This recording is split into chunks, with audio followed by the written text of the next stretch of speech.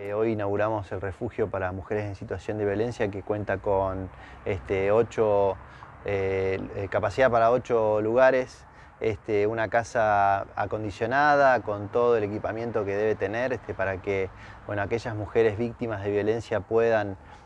alojarse en el marco de una estrategia de intervención supervisada por el Consejo Provincial de la Mujer y bueno, por un tiempo determinado hasta que cese la situación de violencia o se pueda lograr la exclusión del hogar del agresor.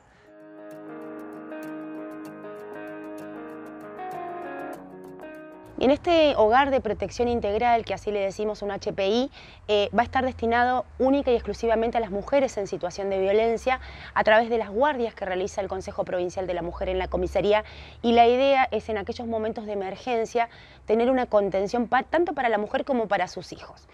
Este hogar de protección va a ser de contención y también para brindarle seguridad durante estos primeros días que tiene que ver con la causa judicial y las medidas cautelares que va a tomar eh, la justicia en este caso. Este refugio, al igual que el de San Carlos de Bariloche, que inauguramos el año pasado, nos permite un trabajo mucho más detallado con esta mujer, eh, poder empoderarlas no solo económicamente, sino también brindarle otras herramientas. En este hogar de protección se van a brindar talleres del emprender y se va a articular con los distintos programas que ya tiene el Ministerio de Desarrollo Social.